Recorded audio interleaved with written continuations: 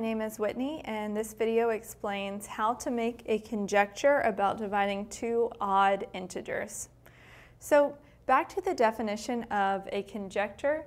A conjecture is just a, a mathematical statement or rule that is thought to be true but can't be disproven. And at the same time, you can't call it a fact or a theorem. So a way to start by forming a conjecture is to look at different, different scenarios. So let's take a couple of examples of dividing two odd integers. So 15 divided by 3,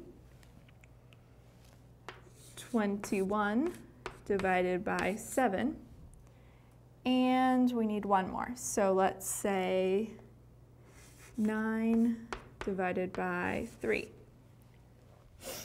And what we can do is look at these examples and see if we see any patterns or trends, and then try and find examples where those are not the case.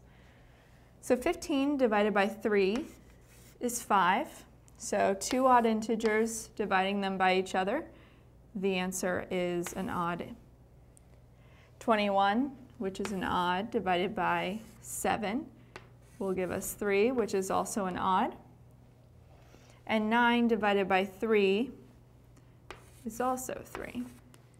So we could say that a possible conjecture would be when you divide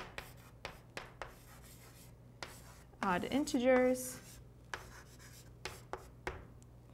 your answer is odd.